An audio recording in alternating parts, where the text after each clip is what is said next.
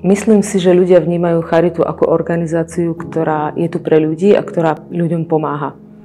A historicky Charita tu bola dávno, dávno a ľudia sa na Charitu obracali práve v najväčšej núdzi. Keď už vyčerpali všetky iné možnosti, tak e, obratili sa na Charitu s prozbou, so žiadosťou o pomoc. Myslím si, že takto ju vnímajú. Stretávam sa s predsudkami voči Charite, Ľudia vnímajú Charitu ako e, cirkevnú organizáciu, kde pracujú najmä ľudia veriaci, čo ale nie je úplne tak. My sme cirkevnou organizáciou, ale poskytujeme sociálne služby a musíme splňať všetky legislatívne podmienky presne tak, ako ostatní verejní poskytovateľi a neverejní poskytovateľi a neziskové služby. To znamená, že u nás poskytujú zdravotné služby sestry, Opatrovateľka musí mať opatrovateľský kurz, sociálny pracovník musí splňať kvalifikačné predpoklady, musí mať na to vzdelanie. A pri výbere dbáme na to, aby naši ľudia boli najmä kvalifikovaní a aby mali aj osobnostné predpoklady, aby mali vzťah k práci.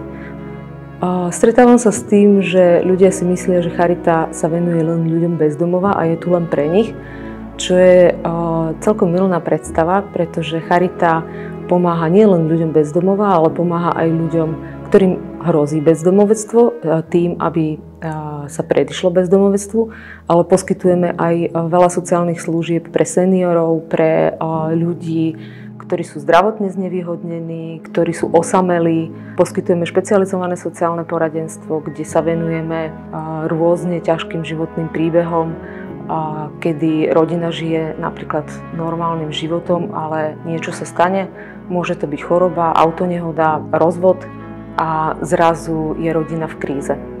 Charita preto, aby bola modernou organizáciou, sa neustále vzdeláva. Posúvame sa, naši zamestnanci absolvujú rôzne školenia, zúčastňujeme sa konferencií, ale tiež sa školíme navzájom a chceme byť bližšie aj k mladým ľuďom. Poslaním Charity je byť blízko pri človeku.